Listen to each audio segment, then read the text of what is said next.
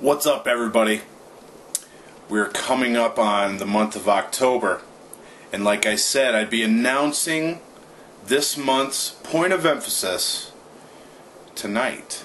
I know it's a little bit later than I would have liked it to be, but it's because I've been working hard on the program getting it ready, and it will be available tomorrow. The whole entire month of October is completely mapped out. Now, as far as the guesses, many of you came very close.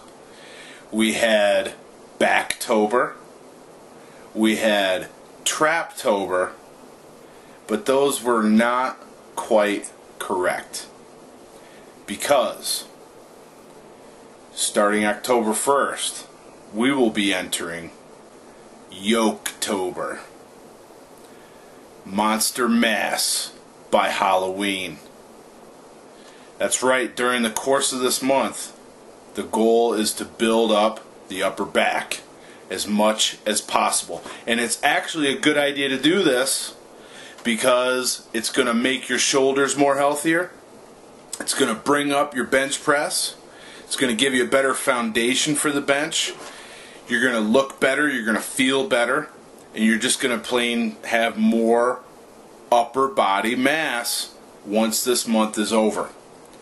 So, it's not really isolation. It's not just one body part. We're going to be working several.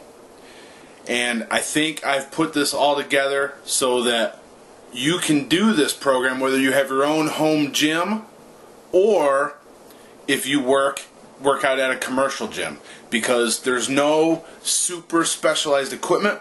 Everything that I used in designing the program can be found at most gyms or there will be something very very similar.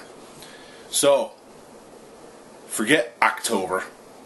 It's Yoketober, brother. It's coming out tomorrow. See ya.